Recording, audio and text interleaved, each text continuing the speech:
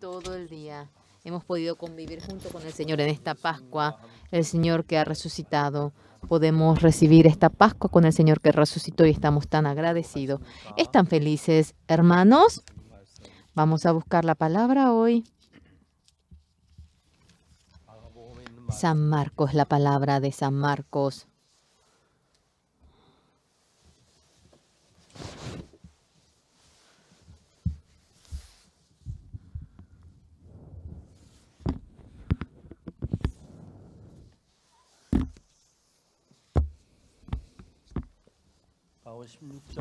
San Marcos, desde el capítulo 16, versículo 1, vamos a ver.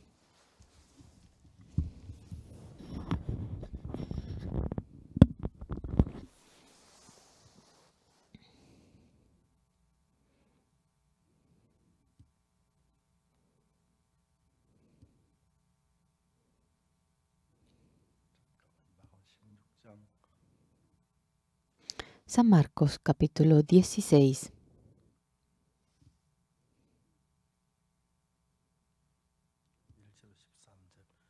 Del versículo al 13 vamos a ver.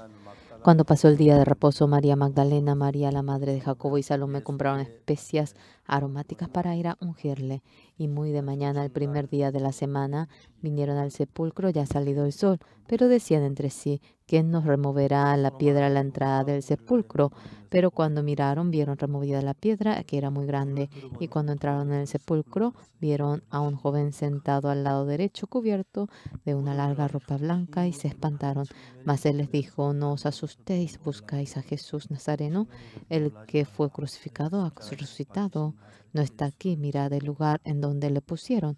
Pero y decid a sus discípulos y a Pedro que él va delante de vosotros a Galilea. Allí le veréis como os dijo y ya se fueron huyendo del sepulcro porque les había tomado temblor y espanto, ni decían nada a nadie porque tenían miedo. Habiendo pues resucitado Jesús por la mañana, el primer día de la semana, apareció primeramente a María Magdalena, de quien había echado siete demonios. Yendo ella, lo hizo saber a los que habían estado con él, que estaban tristes y llorando. Ellos, cuando oyeron que vivía, y que había sido visto por ella no lo creyeron, pero después apareció en otra forma a dos de ellos que iban de camino yendo al campo. Ellos fueron y lo hicieron saber a los otros, ni aun a ellos creyeron.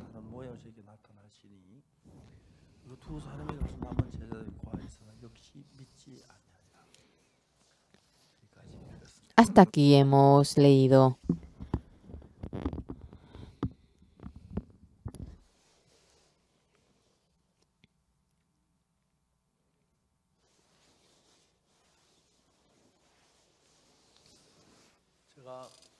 Yo, en nuestra iglesia hace tiempo atrás, una señora joven vino por primera vez a la iglesia. Esta señora era bien gordita y más de 100 kilos creo que ella habrá tenido en aquel entonces. Esta señora hacía como un, un mes antes de que ella venga a la iglesia, ella había obtenido el perdón del pecado. Una vez yo pasaba delante del comedor de la iglesia y ella me dijo, pastor, pastor, a ver, oígame lo que le voy a decir.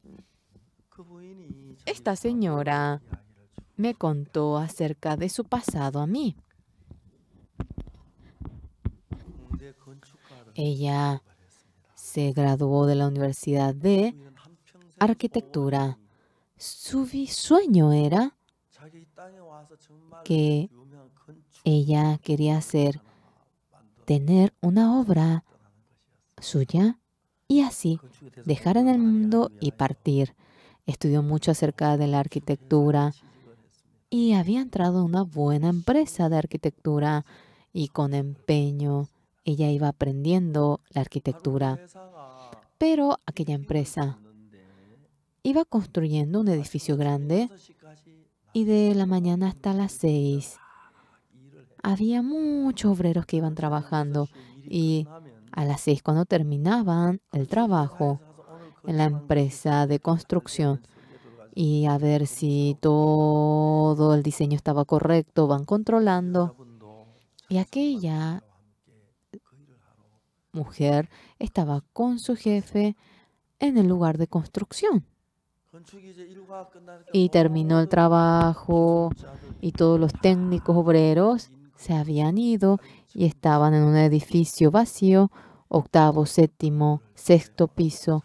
Ellos iban controlando y ellos miraban también el diseño, midiendo. No estaba nadie, solamente estaban aquellas dos personas. Cuando bajaron al séptimo piso, este hombre abrazó a esta mujer. Ella forcejeó, no tenía fuerza para vencer al hombre y ella fue violada en ese momento. Sentía tanta rabia, tanta rabia, tanto enojo, no podía aguantar. Pensaba, lo denuncio de la policía, pero si lo denunciaba, tendría que ahora decir que ella fue violada y entonces iban a rumorear. Se cayó y estaba enojada y ella guardó en silencio eso. Ya que ella no tenía un periodo estable, ni se imaginó que se haya quedado embarazada. Y después de unos meses sentía que su cuerpo estaba raro. Y por eso ella se puso a pensar y veía algo raro que hizo. Ella fue y ella se hizo un test de embarazo y se había quedado embarazada y se asustó demasiado. Pasó días y noches. Ella iba pensando, tengo que abortar al niño, y se determinó y se dirigió al hospital. Ella se dirige al hospital, pero el bebé, no sé si se da cuenta que le intentan matar, comenzaba a patear el bebé y ya no podía aguantar eso. Yo no te quise a ti, tengo mi vida, yo tengo que vivir mi vida, no puedo destrozar mi vida por ti. Y ella se bajó del carro, iba hasta el sanatorio y le pateaba, le daba patadas al bebé y ella llorando volvió a la casa día y noche, se puso a pensar. Se puso a pensar y ahora un día se determinó en su corazón, sí, yo no te puedo matar a ti, yo voy a dar a luz, por favor, con salud, de manera brillante, crece tú. Así, ella se determinó en tener a ese bebé. El que una mujer que no se haya casado tenga un bebé, ella sentía vergüenza, salió de la casa, compró una casa pequeña y allí se preparaba para tener al bebé. Ya después de que pasó 10 meses, ella tuvo un bebé, tuvo un bebé muy bello. Ella estaba muy feliz abrazando al bebé. Ella empezó a trabajar en una peluquería, aprendió la manera de hacer rulos y abrazando al bebé le daba el pecho y luego él estaba lleno y ella volvía a hacer los rulos y vivir con un niño sentía gran amor y tenía buenos ingresos, aunque tenía carencias. Estaba feliz y en medio de ello había otra vez otro hombre que se acercaba a ella. Pero era tan amable este hombre y le decía, señora, no hace falta que sufra tanto porque usted vive sufriendo. Y ella se hacía como que no le oía a él. Pero poco a poco ese hombre se acercaba, era muy amable y hablaban y comieron junto un día y comiendo. Seriamente le hablaba, Señora, Siento tanta pena cuando la veo a usted. No hace falta que sufra tanto porque vive en tanta dificultad usted. Esta mujer sentía tanto agradecimiento hacia ese hombre. ¿Cómo debo hacer? Le pregunta al hombre. ¿Tiene dinero? ¿Por qué? le pregunta ella. Invierta en nuestra empresa. Te voy a dar mucho interés y puedes vivir en paz con eso. Esta señora fue al banco y hipotecó su casa y pidió dinero, pero todo lo que podía, y le dio a este hombre. Este hombre estaba calculando y le dice, cada día 5 del mes en su cuenta corriente le vamos a poner el interés. Y era tanto la cantidad de interés que le ponía. Podía pagar la deuda al banco, también podía pagar el interés y podía vivir muy bien. Entonces ella estaba tan feliz. El hombre, con ese dinero, fue al exterior y se escapó. No, no puede ser que haya pasado eso. No, no, no, no creo. No, no, es imposible. Pasó un mes, no tenía contacto con él. Al final, perdió el dinero. Volvió a la casa y tan angustiada. Porque a mí solamente me pasa estas cosas tan infelices. A otras personas les surgen cosas tan buenas. Pero ¿por qué? Solamente dificultad es lo que me ocurre a mí.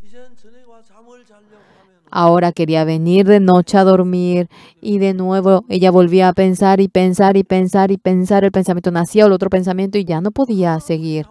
Y por más que quería dormir, apenas dormía 20 minutos al día. Luego se acordaba otra vez toda la noche y ella madrugaba teniendo los ojos abiertos.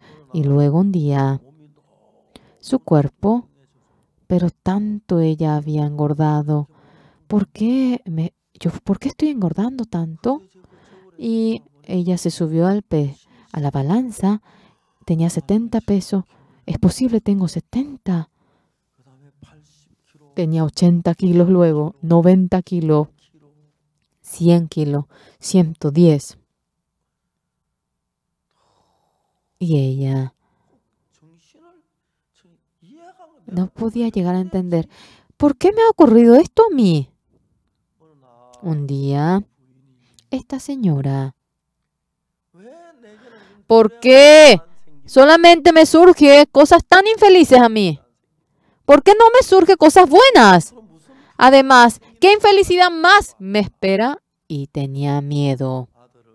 Y a su hijo lo envió a la casa de sus padres y sola ella se llaveó y luego sacó el cuchillo y escuchó que si se cortaba las arterias que se iba a morir y comenzó a cortarse, cortarse, cortarse ella perdió la conciencia y estaba muriendo.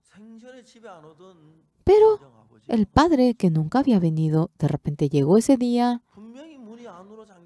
Estaba llaveado y le tocó la puerta, pero no había respuesta alguna. Rompió la ventana, entró y su hija estaba muriendo. Llamó a una ambulancia y habían hecho que ella viva.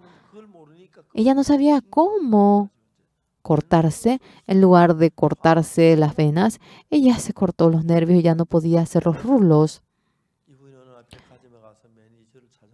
Y ella buscó y le dijo, le contó la situación y le pidió trabajo. Ella no podía usar la mano izquierda y no podía hacer nada con la mano derecha y ella iba al shopping a reunir cajas vacías y en el shopping le pagaban un poquito al mes. De manera difícil, difícil ella vivía. Esta señora vino a nuestra iglesia y no pasó mucho tiempo. Ella había obtenido el perdón del pecado y estaba, pero muy feliz. Y yo pasaba y me decía, pastor, pastor, ¿por qué? Yo le decía, venga aquí, escúchenme lo que le voy a decir. Y yo le oía, me contaba acerca de su pasado. Ella me decía que obteniendo el perdón del pecado esa noche, había ido a su casa. Ella siempre intentaba dormir, apenas podía dormir 10 minutos, 20 minutos, porque el pensamiento le hacía surgir otro pensamiento, otro pensamiento. Pero dice que ese día durmió dos horas. Una vez, así, cuando dormía aquel periodo, después de haber dormido 20 minutos, estaba feliz. Dos horas, tres horas, cuatro horas, cinco horas. Hoy en día dice que duerme siete horas y estaba tan feliz, tan contenta. Un día vino junto a mí y me dijo, pastor, a ver, oígame lo que le voy a decir. ¿Qué es lo que ella me decía? Tanto dolor sentía en mi mano y dice que ella lloró. Demasiado sentía el dolor y era de día y fue al hospital y el doctor se asustó en gran manera que ocurrió un milagro que se conectaron los nervios y ella podía usar la mano izquierda. Esta señora, dentro de la vida que ella vivía, todos los días Dios iba trabajando. Una vez me llamó a mi pastor, hoy esta noche tenemos el culto de la célula, usted debe venir sí o sí. Yo fui. Era la primera casa donde yo iba y pregunté, pregunté y así llegué. Y en el ayuntamiento habían comprado un apartamento viejo y habían arreglado aquel apartamento y le daban a la gente humilde. Esta hermana al comienzo había sido elegida en el subterráneo. luego se trasladó al segundo piso porque no había llegado la gente que debía vivir en el segundo piso y el día que se mudaba estaba tan agradecida y oraba y luego y teniendo el culto de la célula me dijo para que yo vaya y he visto cómo estaba tan feliz. El Señor Jesucristo es Dios Todopoderoso. Nosotros, el Señor Jesucristo murió por nuestros pecados y cuando obtenemos el perdón del pecado, somos uno con el Señor Jesucristo. En una ocasión, de nuevo me ha dicho en la iglesia, pastor, pastor, ¿por qué? ¿Por qué de nuevo? ¿Qué pasa? Yo ahora bajé 10 kilos, pastor. Y feliz, ella me iba contando, yo veía que ni se notaba que haya bajado 19 kilos. No sé ahora cuánto pesa, pero ella vivía muy feliz. Yo soy pastor y ancianos de nuestra iglesia. El anciano que es abogado, yo le digo, ¿por qué tú quieres ser abogado? Por más que le defiendas, es difícil convertirle inocente. Si anuncias realmente el perdón del pecado, es justo. Anuncia este evangelio, le digo, el anciano se ríe al anciano que es doctor en medicina oriental. Por más que le trates, al final va a morir. Nosotros anunciamos la vida eterna. ¿Por qué no anuncias el Evangelio? Porque eres doctor de la medicina oriental. Yo anunciando el Evangelio a miles, millones, a tantas personas. Yo he visto cómo ellos obtienen el perdón del pecado. Hoy en esta noche también, a la tarde, en el culto de las Pascuas de Resurrección, la hermana que traduce en español, en todo el mundo, esta transmisión es transmitido en español. Es la hermana que traducía en español. Ella que me dijo que en el YouTube ellos dicen que ponían sus opiniones y en las opiniones ellos escribían, yo obtuve el perdón del pecado, no tengo pecado. Y contando, contando, pasaban los tres mil y que ya no podían más contar.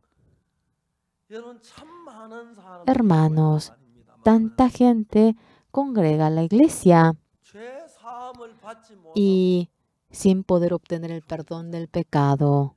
Hay gente que va a la iglesia en el día de la resurrección. El Señor Jesucristo fue entregado por nuestra transgresión y había resucitado por nuestra justificación. Esta noche hemos leído San Marcos y en la parte de San Marcos estamos tan agradecidos porque en la figura del corazón de los hombres de tal manera aparece. Estamos tan, tan agradecidos el Señor Jesucristo habiendo nacido. El Señor Jesús dice, el Hijo del Hombre siendo crucificado resucitará en tres días. Había dicho aquello, pero cuando Jesucristo resucitó, nadie había creído que Jesús haya nacido, que haya resucitado. Y vemos cuán necios son las personas. En la palabra que yo he leído hoy, las mujeres van al sepulcro y oyen que Jesucristo resucitó, pero ellas no han creído, dice. Luego en el versículo 12, ¿qué dice? Pero después apareció en otra forma dos de ellos que iban de camino yendo al campo. Ellos fueron y lo hicieron saber a los otros, ni aun a ellos creyeron. Luego los once mismos, estando ellos sentados a la mesa, y les reprochó su incredulidad y dureza de corazón porque no habían creído a los que le habían visto resucitado.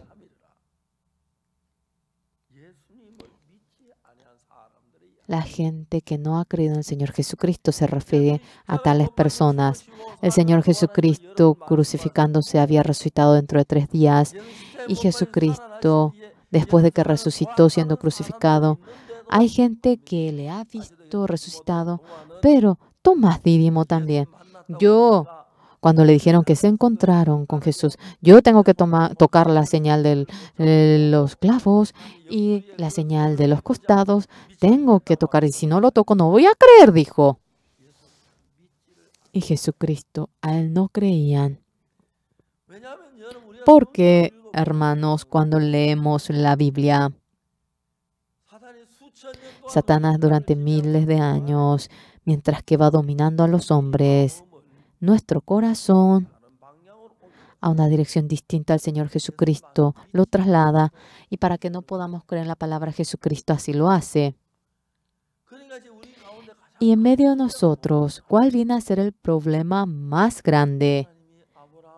Dios a Abraham había elegido. Un día le dice a Abraham, dentro tuyo no dirás que tu esposa es Sarai, le dirás Sara, ella te dará un hijo. Es la palabra de Dios Todopoderoso. ¿Y qué le dice Abraham? Hombre de 100 años, ¿cómo va a tener hijo? Sara ya tiene 90 años. Que Ismael viva delante tuyo, Señor. Cuando vemos aquí, en medio de Dios y nosotros, Dios desea trabajar en nosotros. Dios eligiendo a David, ¿cómo va hablando? Yo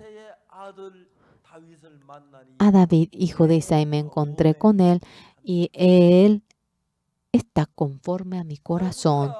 Nosotros, la razón por la cual creemos en el Señor Jesucristo, ¿en dónde está? porque tenemos mucho pecado, cometemos mucha maldad. Jesucristo murió por nuestro pecado y obteniendo el perdón del pecado del Señor Jesucristo vamos al cielo. Muchos miembros, yo le pregunto, ¿por qué creen en el Señor Jesucristo? Yo creo en Jesucristo porque obteniendo el perdón del pecado quiero ir al cielo. Jesucristo murió por... ¿Por qué murió en la cruz? Por nuestros pecados murió, dicen ellos. Claramente, Él vino por nuestros pecados y murió crucificado en la cruz. Pero Satanás, después de Adán, está sujetando al hombre y en el corazón de todos nosotros hacia un lado contrario al Señor Jesucristo nos va llevando claramente. Jesucristo siendo crucificado perdonó nuestro pecado, pero a pesar de ello, ahora gente que dice que ha sido perdonado de su pecado, pero es pecador. Hay tanta gente que dice eso. En San Marcos 13, la palabra que Jesucristo dice, aquí así ha hablado el Señor Jesucristo. Finalmente se apareció a los once estando ellos sentados a la mesa y les reprochó su incredulidad y dureza de corazón. A pesar de que le dicen que ha visto que Jesucristo resucitó, la gente no creía. Hoy, lo que yo seriamente le digo, hay algo tan importante, más importante que ello. Jesucristo resucitó después de tres días y él, cuando le dijo eso, no solamente dejaron de creer en la Biblia, claramente dice que por nuestro pecado Él murió. Así está escrito en la Biblia. Nosotros realmente ha perdonado todo nuestro pecado y claramente así lo dice en la Biblia. Pero hoy en día, tanta gente que congrega la iglesia dice que son pecadores. Ellos dicen que son pecadores. Yo un día he leído Primera de Reyes acerca de Saúl, perdón, Primera Samuel, y he leído acerca de Saúl. Dios había elegido a Saúl. En Primera Samuel, cuando vemos un día, mediante el profeta Samuel, Dios le va hablando. Primera de Samuel, capítulo 15. Vamos a buscar un momento.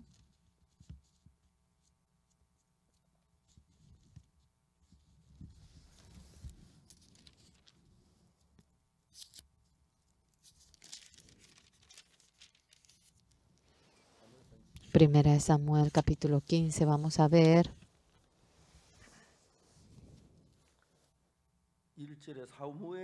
Después Samuel dijo a Saúl, Jehová me envió a que te ungiese por rey sobre su pueblo Israel.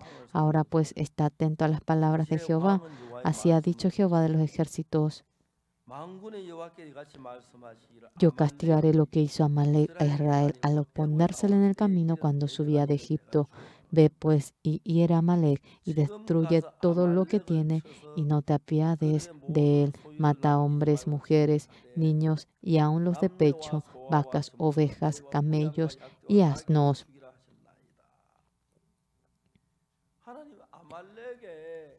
Dios le dice que a los niños no te apiedes de él, mata hombres, mujeres, niños y aun los de pecho, vacas, ovejas, camellos y asnos. Saúl, conforme a la palabra de Dios, destruyendo a Malek, matando a todos y solamente debe matar vacas, ovejas, camellos, asnos y así debe matar nada más. Pero el corazón de Saúl y el corazón de Dios y Saúl, hay un punto distinto en el corazón de ellos. Claramente Dios dice, hombres, mujeres, niños y aun los de pecho, vacas, ovejas, camellos y asnos. Pero Saúl que dice, lo mejor de la vaca y oveja, él deja y lo que es inútil, por completo lo destruye. Dios le dice a Samuel, yo me arrepiento de dirigir a Saúl y ponerlo como rey. Saúl, Samuel va en busca de Saúl, en donde está Saúl. ¿Y qué le dice Saúl a Samuel? Tú recibes la bendición de Dios. Yo he hecho tal como Dios me ha mandado. Entonces Samuel lo que le dice, entonces, ¿qué viene a ser este sonido de oveja y vaca que voy oyendo yo en mis oídos? ¿Qué le dice Saúl? Eso es ahora lo bueno, lo gordo lo dejé para sacrificar al Señor y el resto yo lo maté por completo. Saúl no siguió la palabra de Dios, lo hizo conforme a su pensamiento. Y tanto, tanto Dios sentía pena en su corazón y no podía menos que desechar a Saúl. Saúl, Samuel le dice, ¿qué es este sonido de ovejas, de vacas que yo oigo en mis oídos? Eso ahora nosotros le trajimos y para sacrificar a Jehová hemos dejado aquello que le dice Samuel. ¿Va a gustar el Señor más que esas vacas? Realmente la obediencia es mejor que el sacrificio. El oír es mucho mejor que la grosura. Y Samuel le va exhortando a Saúl y al final Dios desecha a Saúl. Cuando nosotros creemos en Dios, sacando todo nuestro pensamiento, tal como es la palabra de Dios, si lo creemos de manera maravillosa, Dios trabajará dentro de nosotros. Pero nosotros los hombres, todos delante de Dios, no lo hacemos así. Todos conforme a su pensamiento actúan. Eso es lo más triste, la tristeza más grande para Dios. Yo le hablo a mucha gente que congrega la iglesia. ¿Usted cree en Dios? ¿Cuánto ha creído? 15 años, 30 años. ¿Y tiene pecado? Pecado, claro que yo lo tengo. Y en la Biblia, como está escrito, todos nosotros somos ovejas, cada cual se ha desviado, pero Jehová, el pecado de todos nosotros, lo ha cargado a Él. Y claramente lo dice. Ha cargado el pecado de todos nosotros en Él, dice. En Isaías, cuando vemos en el capítulo 53, Él fue clavado por nosotros y Él recibió su castigo, fue Así que obtuvimos la paz y fuimos curados. ¿Qué dice en el 6? Todos nosotros hemos sido como ovejas y cada cual se ha descarriado, pero Jehová ha encargado el pecado de todos nosotros a Él. Hermanos, a los doce discípulos del Señor Jesucristo, Jesucristo murió crucificado y tres Después de tres días iba a resucitar. Varias ocasiones le había dicho aquello y después de que se crucificó y después de tres días él resucitó en realidad y los que han visto le contaba, pero no creían en la resurrección del Señor Jesucristo y vemos que hay mucha gente en San Marcos que no cree eso. Y la palabra que Jesucristo menciona. Solamente deberían aceptar tal como dice el Señor Jesús, pero nosotros, dentro del pensamiento, dentro de la palabra de Jesucristo, ajuntamos un poquito nuestro pensamiento y si llevamos así la vida de creencia, llevaremos una vida de creencia igual a la de Saúl. Lo que vemos, lo que sentimos, lo que experimentamos, lo que conocemos. Aparte de eso, en caso que ustedes hayan robado, hayan fornicado, hayan cometido alguna maldad, teniendo mordimiento de conciencia, eso es una realidad. Y no es ser humano si no tiene aquello, le viene el, remordimiento, la vergüenza. Pero la Biblia dice, mediante la sangre del Señor Jesucristo, todo nuestro pecado ha sido perdonado. Y cuando habla de tal manera, por más que parece que tengo pecado, por más que parece que soy malo, parece que hago cosas sucias, y por más que parece que haya robado, adulterado, ya todo el pecado pasó al Señor Jesucristo y si dice que no se acuerda de mi pecado, ha sido perdonado y yo creo de que no se acuerda y me ha alabado y soy justo, santo, así uno debe creer. Pero en la Biblia, Jesucristo dice que siendo crucificado, nuestro pecado ha sido perdonado, pero cuando yo tengo remordimiento del pecado, ahora de tal manera me dice que yo soy pecador. Yo una vez he realizado la campaña en Dego y el periodista de Deumel vino en busca de mí. Pastor, ¿Podría darme un poquito su tiempo? Sí. El periodista, ¿qué dijo mirándome a mí? Pastor, la misión Buenas Nuevas, ¿cuál es la diferencia de la misión Buenas Nuevas con otra iglesia? ¿Cómo yo fácilmente le voy a poder contar eso? Sin embargo, ¿no podría decirme la diferencia a mí? Le, dije que era difícil, pero igual cuénteme. ¿Alguna vez vino a la iglesia? Que nunca me dijo. Que nunca él congregó a la iglesia. Entonces, ¿alguna vez oyó que Jesucristo fue crucificado y murió en la cruz para perdón de nuestro pecado? ¿Usted sabe por qué él murió? Murió por nuestro pecado, eso yo escuché. Sí, usted conoce muy bien, correcto.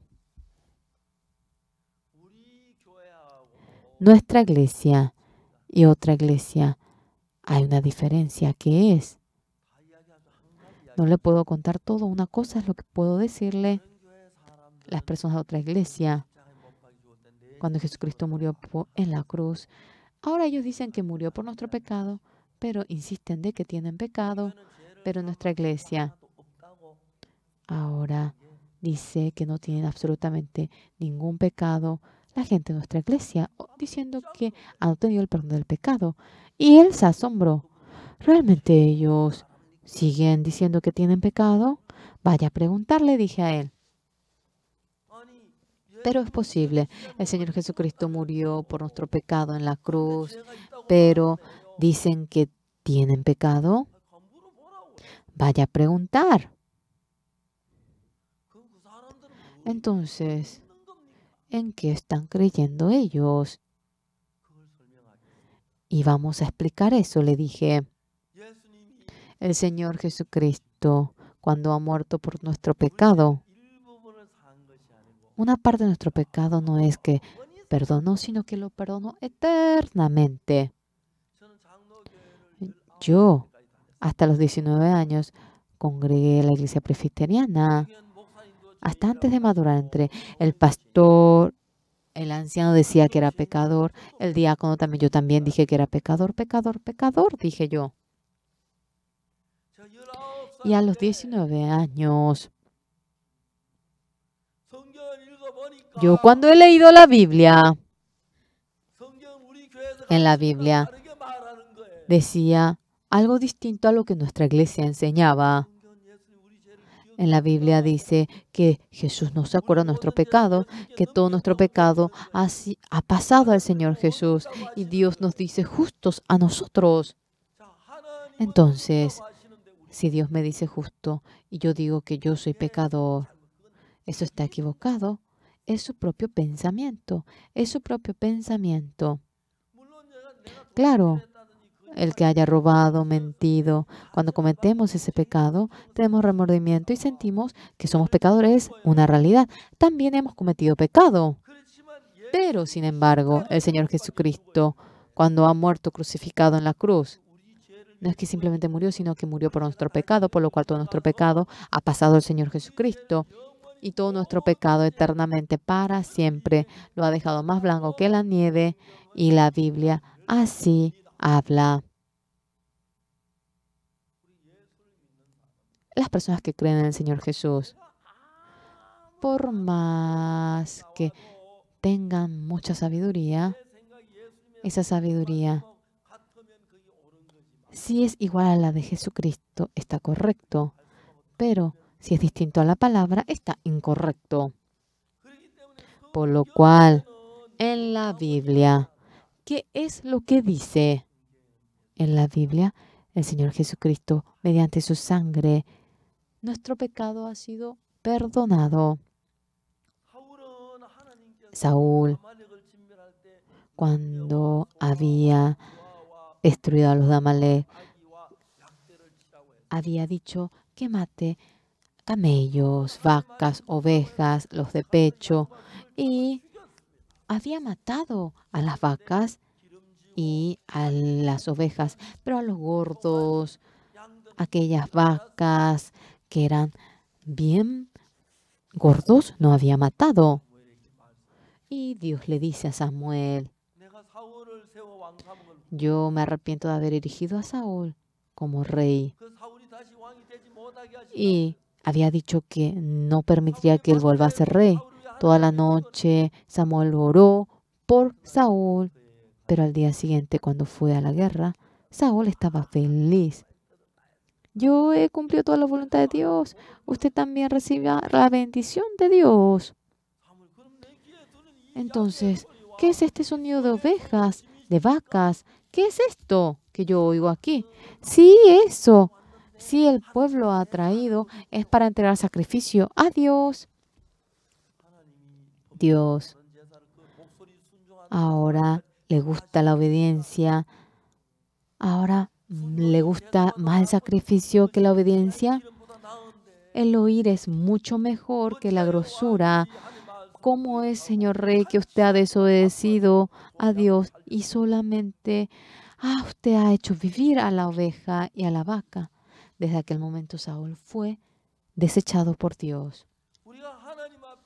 Delante de Dios, cuando nosotros nos acercamos a Dios, que es lo que debemos saber, la palabra de Dios es distinto a nuestro pensamiento. Las palabras de Jehová son distintas a los míos, son distintos a mis caminos, tus caminos, dice Jehová. Hay un pensamiento que me surge a mí y está la palabra de Dios presente. Nosotros, ese pensamiento que surge en nosotros, la gente que cree en ello, es la persona que cree en sí mismo y en sí mismo, cómo fuese su pensamiento. La gente que acepta la palabra de Dios es la persona que creen en Dios, por lo cual las personas que creen en Dios, su pensamiento sea lo que sea, lo que les surja. Ahora, lo que la palabra le dice, los que creen en esa palabra, son personas que creen en Dios. Pero los hombres creen más en su pensamiento que a Dios. Y Dios un día le llama a Abraham, Abraham, tu esposa Sarai, no le digas Sarai, sino que le dirá Sara. Ella te dará un hijo y será madre de todas las naciones. Abraham se ríe y le dice, riéndose, hombre de 100 años, ¿cómo va a tener hijo? Sara tiene 90 años. Que Ismael viva delante tuyo, Señor. El corazón de Dios y de Abraham era distinto. Abraham, humanamente cuando vemos, había dejado la costumbre de las mujeres, Sara ya no podía tener hijo. ¿Y cómo va a tener hijo? Obviamente, es obvio que tenga ese pensamiento. Lo que debemos hacer. ¿Qué es lo que creemos nosotros ante nuestra vista? Es así, así, así. Aunque tengamos tales pensamientos, si Dios me dice así, yo también debería decir que es así. En las bodas canales le faltaba vino. Jesucristo le dice que ponga agua en los cántaros y lo lleve al maestresala. Ante mi vista esto es agua, pero Jesús ve de que esto es vino. Mi pensamiento. Ahora esa persona que considera la palabra de Jesucristo más correcto es el que cree en Jesús, el que cree más en su ser que en el Señor Jesús. No es una persona que cree en Jesús, sino cree en sí mismo. Ante su vista, por más que esto es agua, cuando Jesús dice que esto es vino, es vino. Amén. Amén. ¿Ustedes entienden? De aquella manera deben creer en Dios. Ante nuestra vista, Dios me dice justo y que nuestro pecado nos acuerda, que nos lavó. Pero ante mi vista es correcto decir que somos pecadores porque Dios dice así, yo soy pecador. Es la persona que cree en su pensamiento, no es una persona que crea en Dios. Por lo cual, el pensamiento de ustedes cuando ustedes tienen cierto pensamiento. ¿Este pensamiento va con la Biblia? ¿Es correcto conforme a la Biblia? Si es igual a la Biblia, amén diciendo, deben aceptarlo. Si es distinto a la Biblia, dejando su pensamiento, esa persona que acepta la palabra de Dios es el que cree en Dios. A los 19 años, con empeño, yo congregaba a la iglesia, pero yo decía que era pecador porque cometí tanto pecado. Había cometido mentiras, asal, yo había robado. Es correcto decir que soy pecador. Es correcto decir que yo soy pecador. Es correcto. Pero en la Biblia Dios me dice que yo soy justo. En la Biblia Dios me dice que yo soy santo.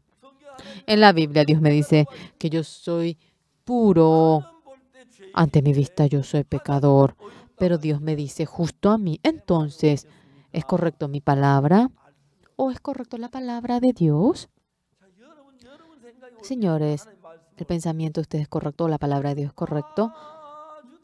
La palabra de la Biblia es muy simple, por lo cual le dice a Abraham, un hombre de 100 años, es absurdo que tenga un hijo. Entonces Abraham, ¿cómo una persona de 100 años va a tener hijos? Sara tiene 90 años.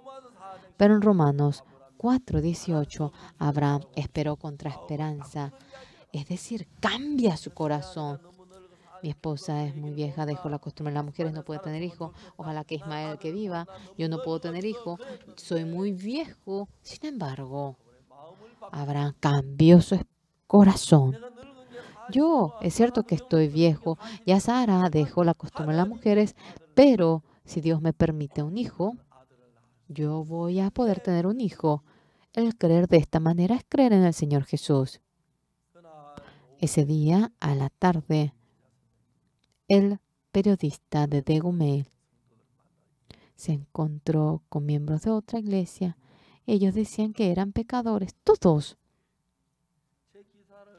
Y mi artículo en la página religiosa, aparte de las propagandas, anunció, él puso todo acerca de mí. Y al día siguiente dice que tantos pastores le habían llamado y él no podía trabajar, habían hecho alboroto, eso me contó. Hermanos, si creemos en Dios, la persona que cree en su pensamiento no es el que cree en Dios, dejando su pensamiento, los que creen en Dios. Ahora, sin nada que ver con su pensamiento, el que cree en Dios, eso es creer en la palabra de Dios. Ante nuestra vista, pensamos que somos pecadores y es una realidad de que cometemos pecado, pero si Dios me dice justo, esa persona, el que crea de que es justo, es la persona que cree en Dios. Yo, por más malo, sucio, vil que sea,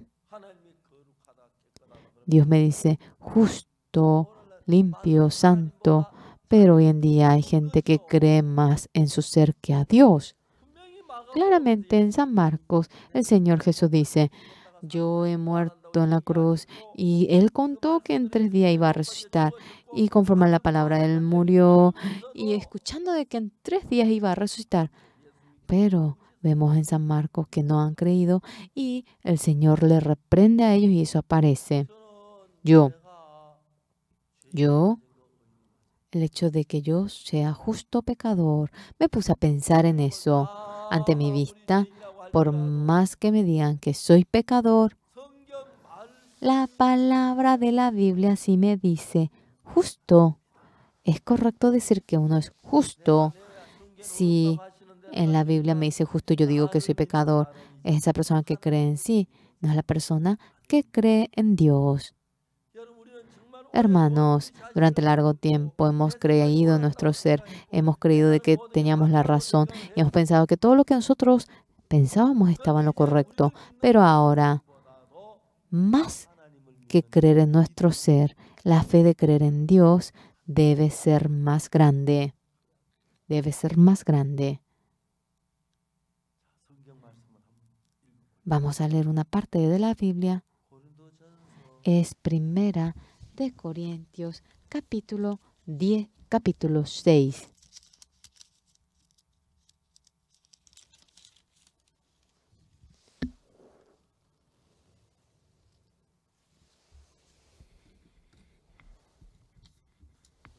Primera de Corintios capítulo 6, el versículo 10 yo voy a leer.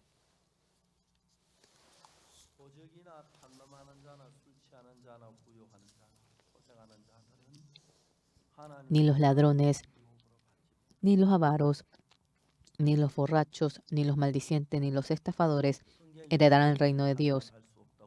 Quiere decir que ellos no pueden ir al reino de Dios. En el 11. Y esto erais algunos, más ya habéis sido lavados, ya habéis sido santificados, ya habéis sido justificados en el nombre del Señor Jesús. Claramente, aquí el pecado que aparece antes, he cometido también estos pecados. Pero cuando vemos aquí, en el siguiente, y esto erais algunos más, ya habéis sido lavados, dice.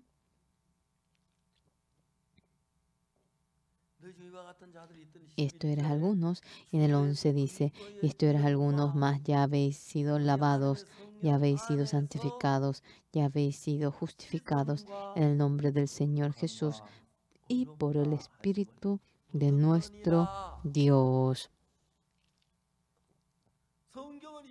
La Biblia de esta manera lo dice, hemos cometido tal pecado, pero no somos personas que no podemos ir al cielo, pero dice aquí, y esto era algunos, somos estas personas, pero dice más, ya habéis sido lavados, ya habéis sido santificados, ya habéis sido justificados en el nombre del Señor Jesús.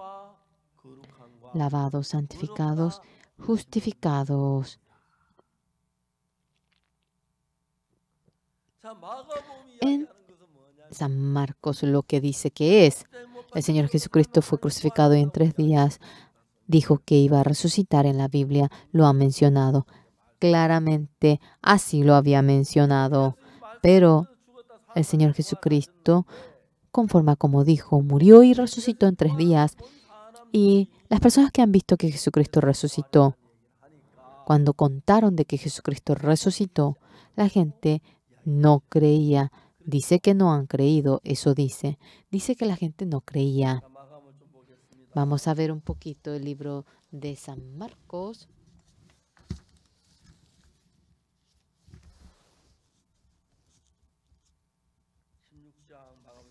Vamos a ver San Marcos capítulo 16, el 9. Habiendo pues resucitado Jesús por la mañana, el primer día de la semana apareció primeramente a María Magdalena, de quien había echado siete demonios. El 10, yendo ella, lo hizo saber a los que habían estado con él, que estaban tristes y llorando. El 11, ellos cuando oyeron que vivía y que había estado y que había sido visto por ella, no lo creyeron. Porque estas personas no lo habían creído en su corazón. Ellos creían de que Jesucristo murió y el hecho de que haya resucitado no lo podía aceptar en su corazón, porque en la Biblia dice, ellos deberían creer lo que decía en la Biblia, pero su pensamiento. Ahora sí, decía que Jesucristo no resucitó y eso impedía para que ellos lleguen a creer. Hoy en día, tanta gente aunque ellos dicen que creen en el Señor Jesús, más que la palabra del Señor Jesús, ellos son personas que creen mucho más en su pensamiento. En Hechos 13:22, cuando vemos existe tal palabra. Hechos 13:22, vamos a buscar.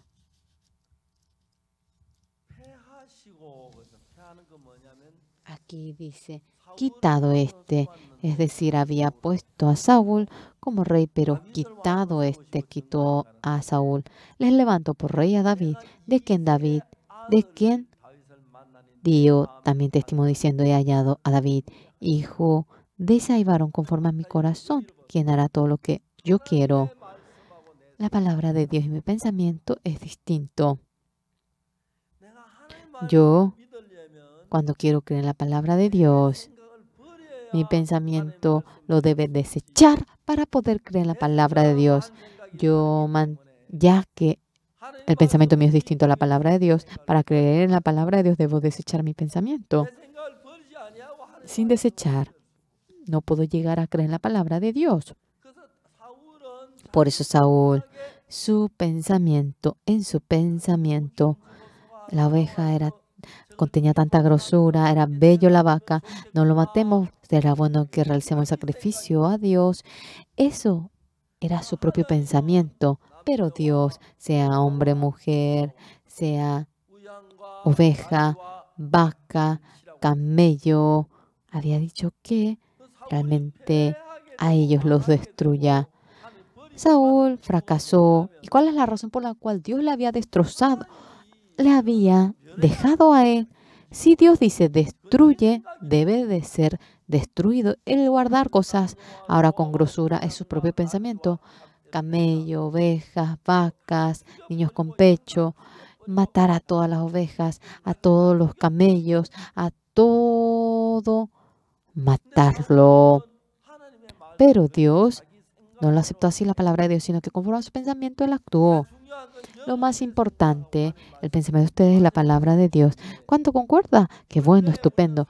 Pero desde un comienzo, como hijos de Satanás, hemos vivido largo tiempo y hemos sido guiados por Satanás y, el pensamiento de Dios es distinto a nuestro pensamiento. La palabra dice, mis pensamientos son distintos a tus pensamientos, mis caminos son distintos a tus caminos y como el cielo está más alto que la tierra, y él comienza a decir, sea cual fuera el pensamiento que me surja a mí, abriendo la Biblia, confirmando mi pensamiento sea como fuese. La palabra de la Biblia, el que lo cree, es la persona que cree en Dios. Contrariamente, la persona que cree en su pensamiento no es una persona que cree en Dios, sino que es la persona que cree en su ser. Por lo cual, ante nuestra vista, sea como fuese, lo vayamos a ver por más que sea un pecador que ha cometido pecado, si Dios nos dice justo, debemos decir que somos justos. Y el enfermo 38 años, yo no me puedo despojar de la enfermedad de 38 años, pero Jesús le dice, anda, camina, entonces de tal manera lo hará. Señores, en el estanque de Testa, ese ciego que se dirige allí, en el, estanque Bethesda, si le dice que se lave, debe lavarse de tal manera. Y cuando lo hace de tal manera, nosotros creemos en Dios y Dios se goza ante nuestra vista, por más que realmente haya cometido mucho pecado y sea pecador. Ante mi vista yo soy pecador, pero Dios a mí, como me dice mirando aquello, yo soy pecador, no es creer en su propio pensamiento, pero tal como dice Dios, esa persona que cree en ello es el que cree en Dios. Son personas que creen en Dios. Hoy en día mucha gente, aunque congrega la iglesia, mucha gente, más que el pensamiento de Dios, cree en su propio pensamiento, más que la palabra de Dios, cree en su pensamiento, por lo cual claramente Jesucristo murió crucificado en la cruz. Todo nuestro pecado ha quedado más blanco que la nieve. Somos santos, justos y claramente la Biblia lo menciona así. Entonces, las personas que creen en Dios hemos cometido mucho pecado, una realidad. Y Jesucristo muriendo sobre la cruz, todo el pecado ha sido perdonado. Yo soy justo, yo soy santo. Y el creer de esta manera es creer verdaderamente en Dios. Amén. Y de tal manera ustedes deben creerlo. Pero hoy en día mucha gente, qué pena. Más que la palabra de Dios, tiene el corazón de confiarse más a sí mismo. Mediante la sangre de Jesucristo nuestro pecado ha quedado más blanco que la nieve y nos ha dejado eternamente limpios y en la palabra dice, ah, Dios me dice que me lavó, entonces fui lavado. Dios me dice justo, entonces yo soy justo. Y de esta manera debe creerlo para creer en Dios. Eso es creer. Pero mucha gente no cree de tal manera. En su pensamiento, conforme a su pensamiento lo cree. Eso no es la persona que cree en Dios. Yo fui a República Dominicana, realicé el CLF allá Muchos pastores se habían reunido allí. Yo en el púlpito empecé a hablar. Yo soy justo, soy justo, le dije. Y la gente, los pastores se habían asustado. Pastor, tengo una pregunta, tengo pregunta, tengo, tengo, tengo pregunta, tengo pregunta. Pregunte, le dije. ¿Usted no ha cometido pecado? Sea sincero. ¿Usted nunca mintió? ¿Nunca robó? Pastor, ¿nunca? Yo me reí y le dije, yo de manera incontable he mentido, he robado. Entonces, pecador, ¿cómo va a ser justo usted? Correcto. Es decir, claro, correcto es decir que soy pecador. Sin embargo, yo también dije que era pecador por eso. Pero cuando miré la Biblia, Dios me dice que yo soy justo. Es cierto, esa palabra, bueno, ¿en dónde aparece eso? No bastaría toda la noche, hay tantas palabras. Dígame solamente uno. En 1 Corintios 6, 10, ni ladrones, ni los avaros, ni los borrachos, ni los maldicientes, ni los estafadores eran el reino de Dios. Y esto era algunos más, ya habéis sido lavados, ya habéis sido santificados, ya habéis sido justificados en el nombre del Señor Jesús y por el Espíritu de nuestro Dios. Dios me dice, te la ve, eres santo, eres justo si me dice así. Él es un juez justo. Por más que tenga mucho pecado, si Dios me dice que soy justo, ¿no somos justos? Todos los pastores se asustaron en gran manera. De repente todos empezaron a subir sobre el púlpito. Yo pensé que ellos venían a pegarme a mí. Y se subieron y dijeron, pastor, padre, y trajeron mi libro y me pidieron mi autógrafo. Vamos a tomarnos fotos. Ese día tantas fotos me he tomado con ellos. Todos ellos estaban muy felices. Lo triste es, la Biblia dice que nuestro pecado ha sido lavado mediante la sangre y ha quedado blanco más que la nieve, pero muchos en la iglesia dicen hoy en día de que son pecadores. Por lo cual, porque Oxupar dice que somos justos, ellos dicen que somos una secta. Ellos dicen que son pecadores y que ellos tienen la razón. Esto es la realidad de la iglesia de Corea. Y no solamente así, en muchas iglesias así lo dicen. En el año 2017, hace tres años atrás, en marzo, en Nueva York de los Estados Unidos, miembros de nuestra iglesia. Hemos visitado a más de 2.000 iglesias y fuimos en busca de 2.000 iglesias y la mayoría de los pastores ya tenían su trabajo, por lo cual nos íbamos en los domingos y no podíamos encontrarnos, uno o dos apenas. Y nosotros invitamos a ellos en nuestras casas y más de 700 pastores habían venido por primera vez y durante una semana acerca del perdón del pecado les iba contando. Ellos se habían asombrado tanto y luego, pastores de Estados Unidos son muy sinceros, honestos, me encanta.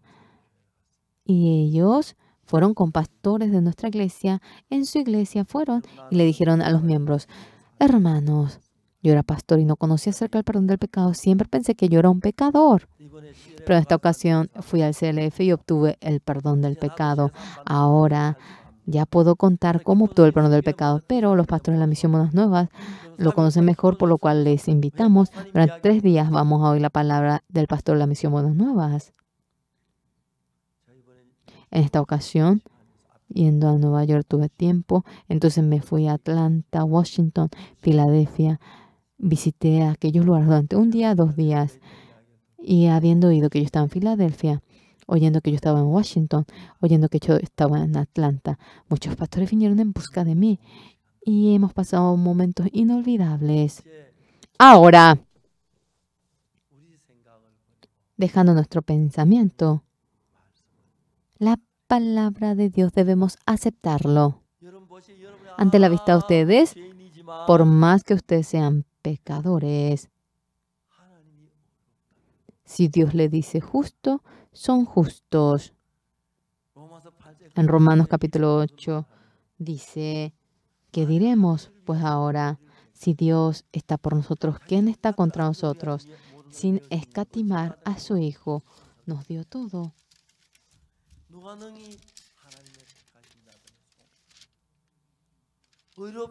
¿Quién acusará a los escogidos de Dios? Dios es el que justifica. ¿Quién es el que condenará? Cristo es el que murió, más aún el que también resucitó, el que además está a la diestra de Dios, el que también intercede por nosotros. Esto es el Evangelio. El Evangelio no viene a ser otra cosa. El pecador sucio sin lugar a dudas, somos pecadores nosotros. Nuestro pecado ha sido lavado por completo y Dios nos dice justo, Dios nos dice santo a nosotros, dice que nos ha lavado nuestro pecado por más que tengamos mucho pecado. Si Dios nos dice justo, somos justos. el juez, si dice que no tenemos pecado, no tenemos pecado. Y todos los libros de la Biblia, los 66 libros de la Biblia, está allí la palabra de Dios y creemos en ello. Esta verdad preciosa a nivel de todo el mundo. Yo he recorrido y anunciado muchos pastores, 240 mil pastores durante los tres años se han encontrado con nosotros y han obtenido el perdón del pecado. Cuando vamos a África, casi como 2.000, 3.000 personas se reúnen toda la noche hablando, anunciando el Evangelio y estando feliz, contento. Ahora, la iglesia de Corea también confiamos de cambiará. Sabemos que se transformará. Hoy nosotros, esta reunión de la Pascua Resurrección, en mucha prensa lo ha anunciado. Y delante de Dios estamos tan agradecidos en toda Latinoamérica. Nosotros, más de dos millones de personas eh, están oyendo mediante el YouTube nuestra palabra. Hasta ahora ellos están oyendo. Yo, con toda convicción, digo, yo soy justo. ¿Usted no cometió pecado? ¿No ha mentido? ¿No ha robado usted? Sí, lo hice. Pero ¿cómo es justo? No sé muy bien. Pero una cosa que yo sé es que Dios me dice que yo soy justo. Si Dios me dice que yo soy justo, yo soy justo.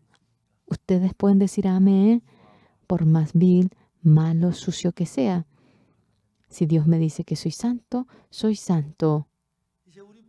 Ahora, en este día de la resurrección, no digan otra cosa, sino que nuestro pensamiento siempre es distinto al pensamiento de Dios, la palabra de Dios. Acéptenlo. Jesucristo muriendo crucificado nuestro pecado para siempre por la eternidad lo lavó y para no cometer pecado, la ley de Jesucristo, el corazón de Jesucristo lo introdujo en nuestro corazón, así está escrito. Después de que he oído aquella palabra, yo empecé a cambiar, empecé a renovarme. Recorriendo el mundo entero voy anunciando este evangelio. Ahora, ahora más, para que en este este país no haya nadie que diga que es pecador, obteniendo el perdón del pecado mediante la sangre de Jesucristo y para que pueda ir al cielo. Y siendo justos, para que sea así. Anunciamos este Evangelio, esta Pascua, la resurrección, que de día también lo dije. Jesucristo fue entregado por nuestra transgresión y resucitado para nuestra justificación. Él resucitó para nuestra justificación. Yo he muerto crucificado por el pecado tuyo. He pagado la paga del pecado. Eres justo. Sí, Jesús me dice que soy justo. Es correcto que somos justos teniendo esta fe. Espero que ustedes vivan y estando Jesucristo con ustedes, en todo le va a bendecir. Yo también desde el momento que creí en el perdón del pecado fuertemente, Jesucristo empezó a trabajar dentro mío y nuestra iglesia. Los hermanos que obtuvieron el perdón del pecado reunidos, con la gracia, con la bendición, nosotros marchamos, todos nosotros. Espero que sean hijos que creen en Dios. Sea como fuese el pensamiento de ustedes. Sí, Jesús dice que es vino, es vino. Sí, Jesús dice que la hija de Jairo duerme, es que duerme dejando nuestro pensamiento, creyendo en la palabra de Dios, somos uno entonces con Dios. Dios, Jesucristo manifestándose en la vida de ustedes, sea lo que fuera con lo que se encuentre. Espero que haya en la gracia la bendición hoy junto con ustedes. He podido tener esta Pascua, la resurrección, estuve muy feliz. Y mediante esta Pascua, resurrección, mucha gente despojándose del pecado ha obtenido la bendición y es maravilloso en adelante también mediante la vida de ustedes, manifestándose fuertemente el Señor Jesucristo, obrarán ustedes. Así confío una vez más. Sea como fuese nuestro pensamiento, no crean en su pensamiento, sino crean en el Señor Jesucristo y espero que sean hijos verdaderos de Dios. Vamos a orar.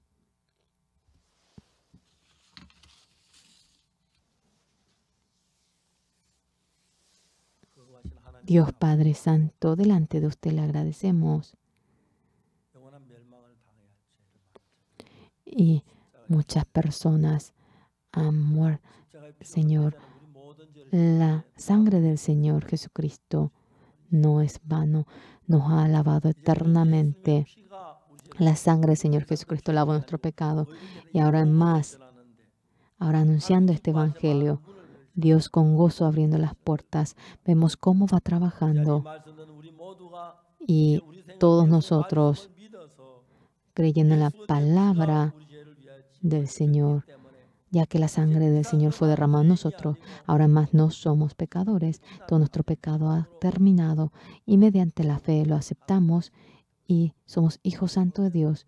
Y la gracia del Señor queremos que nos otorgue esta resurrección recibiéndolo a miles de personas, la resurrección del Señor, el Evangelio hemos podido anunciar, estamos muy agradecidos. Señor, bendícenos. Una vez más le agradecemos, le glorificamos al Señor en nombre del Señor Jesucristo. Amén.